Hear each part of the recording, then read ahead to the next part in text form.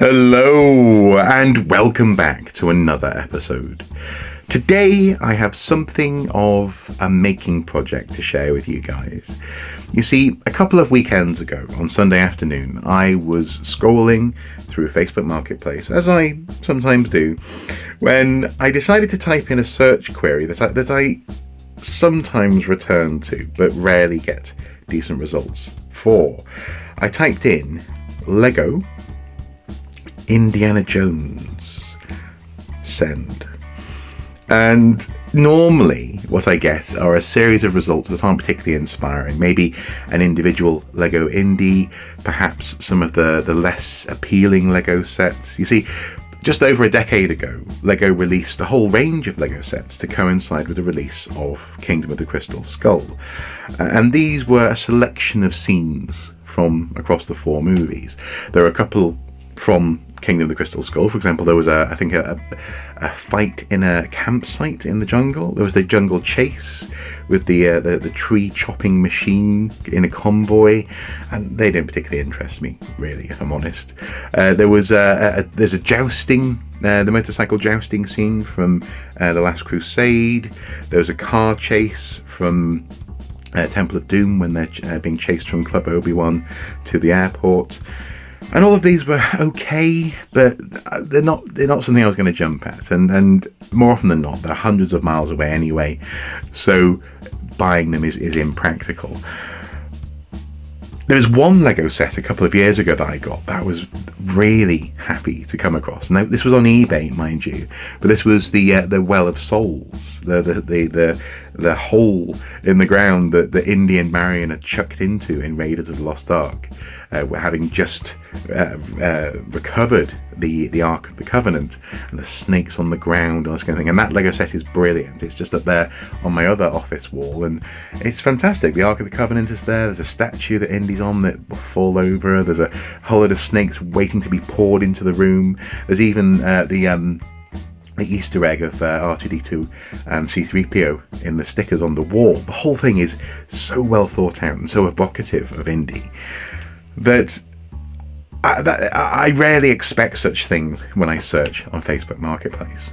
But in this instance, a result was before me that I I had sort of ejected from my brain. I think because I never thought I'd be able to own this set. You see, I couldn't afford it when it came out, and it's only become more and more expensive over time. It goes for 300 plus pounds on Amazon and eBay, and I'm, I'm, talking, of course, about the, the Temple Escape set, the whole opening sequence from the beginning of Raiders of the Lost Ark, represented in Lego. And it was there, and it was only £50, and only 20 minutes away by car. So my amazing wife, and this is yet again a way in which you know that you've married the right person. My amazing wife was like, "You've got, you've got to get this." So I was in the car and I was away. I was like, it was like a cartoon, and, and uh, I, I, got hold of the set, and I think maybe the guy was selling it for friendly fifty. Uh, because it wasn't complete. He, he was he went to great pains to explain. Well, it doesn't have the box, and it does have the instructions, but it doesn't have the boulder, the boulder that chases Indy out of the temple in the movie. Uh, and I was oh no, that's fine, no worries. I was so excited to get this thing.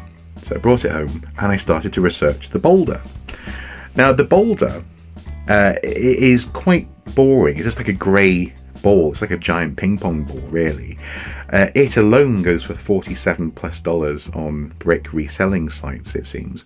And you can see why it would get lost easily. You know, it doesn't seem to have had Lego branding on it. If it rolls around in the house, mum or dad or a pet or someone's just going to go, what's this? And gnaw on it or throw it away or something. So you can see why it gets lost. But also, it doesn't look particularly like a boulder, if I'm honest. It's, just a grey ball. Now, from, from the, the reselling websites, I was able to get its dimensions, and so I decided to replicate the boulder for the set, which incidentally, sorry, is, is just behind me. The, uh, the whole scene is just here um, on the shelf. Sorry, I should have mentioned that. Um, just there. But I decided to replicate the boulder using um, uh, some tin foil. First of all, I rolled a tin foil ball because it needed to be quite light. I didn't actually want to damage or break the set every time it rolled um, from its housing or resting place. And then I covered the ball in foam clay or silk clay. Uh, I had to use two colours to get enough uh, black and white.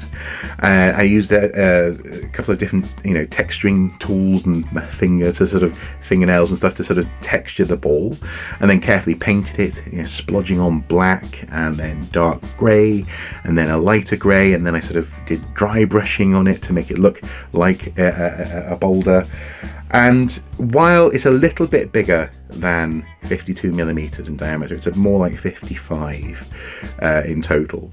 It is, I think, a really nice replacement. It's a beautiful little ball and it sits in the set really well. I think it actually looks, it makes the whole thing, well, it ties the whole thing together. It looks like a little stone ball and it's the perfect weight as well to roll down the hill and chase Indy out of the temple.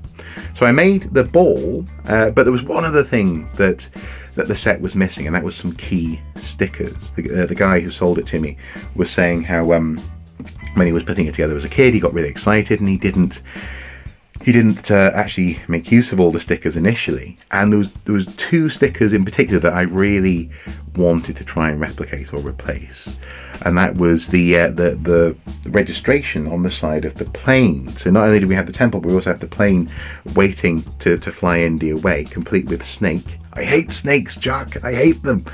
Um, and uh, on the side of the plane, it says OB CPO. Now this this is a Star another Star Wars Easter egg. Uh, it was um, it's on on the on the vehicle in the movie Obi Wan C3PO. Uh, but but the uh, the stickers for the set also go for about 20 quid online. But they're, they're, really, they're quite a generic font. They're not quite the right font. The the font on the on the plane in the movie, uh, and indeed the font that I found to, to replicate the stickers, is called Military Block font. It's almost like someone taking a paintbrush and blocked out uh, the letters. So there's no real curves, it's just like a series of straight lines.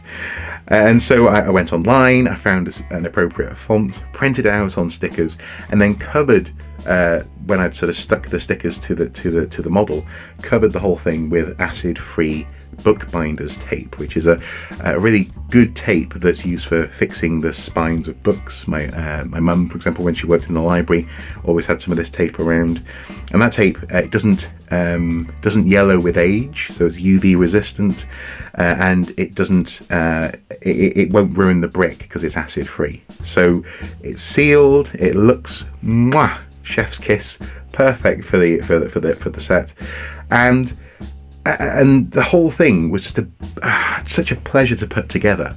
Uh, first of all, I did the knolling, so I laid, well, actually me uh, and, and, my amazing wife, we knolled to the set. We laid the whole thing out on the coffee table, and then I went through the two books, which were which were in pretty good condition actually, the two instruction books, and and put the whole thing together. And now here it is behind me. And uh, uh, I've, I've set it up so that we have the the scene set perfectly. Indy is about to, uh, to, to, to, consider picking up the, the, the statue, the idol, um, which incidentally actually I have. I have a copy of, hang on, a copy of the idol.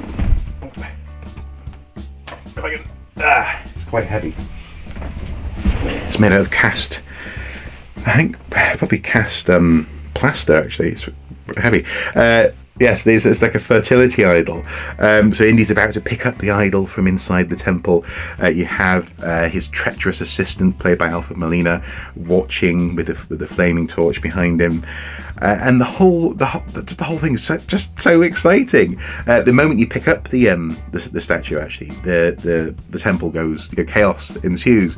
So uh, the um the statue sort of falls from behind and uh, blocks fall off it. It's all set up to be, um, well, kind of like the movie.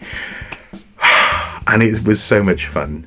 Not only getting it and putting it, putting it together, but also somewhat restoring it uh, and making it so that so that it's, it's just that bit more evocative of of the the scene that I probably love most in all of Indiana Jones. And let's face it, I think most people uh, love the uh, the temple escape from the beginning. Oh yeah, speaking of which, uh, Belloq is is in is in the Lego set as well.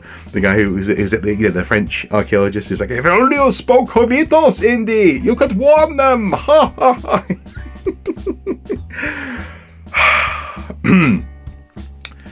It's been a while since I've worn this hat as well. Uh, I'm just basically giddy. I'm giddy at this stage. It was so much fun and uh, absolutely worth £50 of my, my, my time and money. And I simply had to share it with you today. Now, I, I, I, once again, I didn't film the making process. I was thinking to myself, maybe I should have a time lapse of this sort of thing where I was sort of rolling the ball and painting it and this kind of thing. And maybe that's what I'll do from now on. I just set up my phone, put it on a tripod, and and you know use that footage for this sort of thing.